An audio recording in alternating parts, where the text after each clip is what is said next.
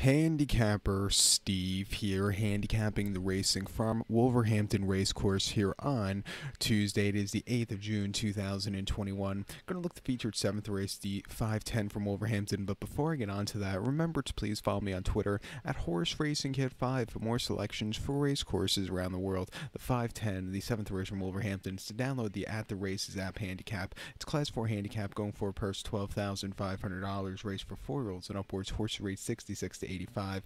We have six horses going 3,300 meters or 2 miles and 1 16th over the all weather Tapeta surface. My top selection, I'm going to take the three horse Live Your Dream. We'll go 315 in the Tri Cash trifecta. 315 Tri Cash trifecta. Top selection of three horse Live Your Dream. This four year old gelding here, Pot Cash. Pat Cosgrave is on this one for Sabin, and Godolphin. The horse's most recent outing came 22nd of May at York, a mile and a half, very soft ground in Class 4 handicap, and the horse finished second by three and a half lengths. He was drawn stupidly wide, also he had a very high weight. He got over well, he quickened up a little bit, but he needed to save some ground. With a longer trip, lesser quality horses, and a little less weight, I think he's in a more realistic spot to win.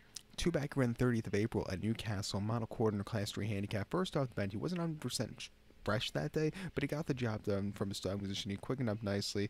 It was an all-around decent race against some decent horses. And then prior to that, his final race as a three, or excuse me, final race as a two-year-old. His previous race was October of 2019. That came at Newcastle, monocourt in a Class 5 main race, winning by six lengths at 17 cents to the dollar. He was supposed to win, and he won quite nicely. An all-around easy race.